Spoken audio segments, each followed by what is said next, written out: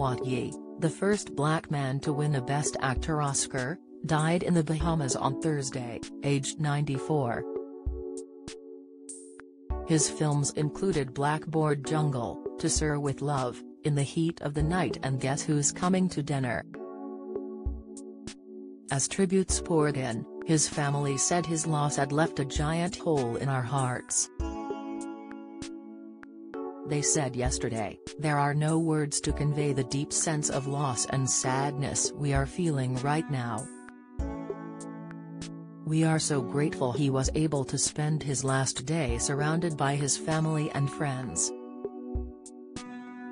To us, Sidney Poitier was not only a brilliant actor, activist, and a man of incredible grace and moral fortitude, he was also a devoted and loving husband, a supportive and adoring father, and a man who always put family first.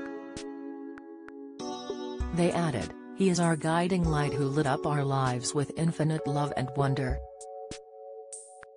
His smile was healing, his hugs the warmest refuge, and his laughter was infectious. What is happening where you live?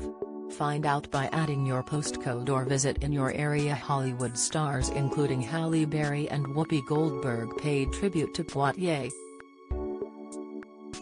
U.S. President Joe Biden lamented the loss of the once-in-a-generation actor who helped open the hearts of millions. Born in Miami, Poitier grew up on a tomato farm in the Bahamas and moved to New York at 16. He signed up for a short stint in the U.S. Army and did odd jobs while he took acting lessons.